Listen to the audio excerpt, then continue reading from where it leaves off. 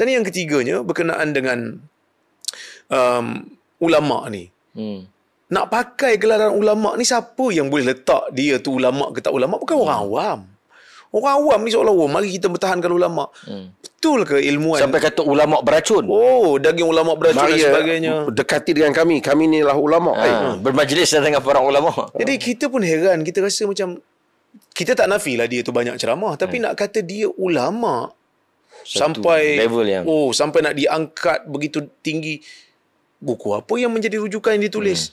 Kita yang belajar ni sampai orang kata apa menangis jugalah nak tulis tesis tu kan.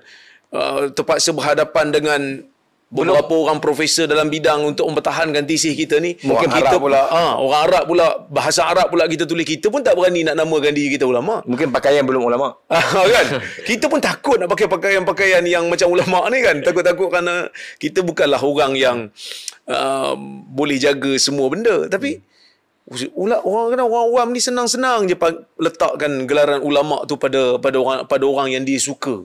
Sedangkan perkataan dia kotor. Jangan jangan hina perkataan ulama, taraf ulama ni dengan orang yang mulut lucah, mulut kotor, mulut jijik, mulut maki ni. Jangan pergi letaklah. Hmm.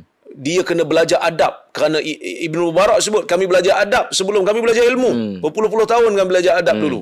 Jadi pergi belajar adab dululah hmm. sebelum nak declare uh, tokoh engkau ni sebagai ulama. Hmm. Ha, itulah yang yang kita nak Dan sebut. kadang-kadang um, um, dok- doktor sikit boleh tambah sikit. Masyarakat dia tak boleh beza. Kita mengkritik dia sudah anggap benda tu menghina. Ya. Uh, menghina dengan mengkritik ni juga Itulah dia boleh terima doktor hinaan. tegur dia baca hadis palsu, doktor tegur Ya. itu kritikan bukan hinaan. Kita tak hina dia kata kita hina. Hmm. Orang ustaz pujaan dia hina orang lain dia boleh terima. Sebab tu kita kata ini talbisu iblis. Dia sedang ditipu, dibelit oleh iblis. Dia rasa dia dengar ceramah agama, dia rasa dia buat kerja untuk agama, tapi sebenarnya dia sedang melakukan perkara yang tak wajar di sudut agama. Sewaktu tokoh dia yang dia minat dikritik, dia kata orang hina ulama dia.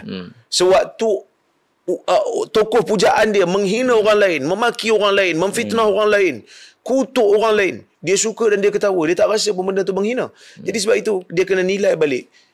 Buang ketaksuban pada diri, nilai balik. Yang aku kata sebagai hina ni orang sekadar kritik untuk membetulkan saja. Hmm. Itu pertama. Yang kedua, bila kita kritik, kita kritik bab tu saja. Hmm. Seolah-olah macam kita buang semua sumbangan dia.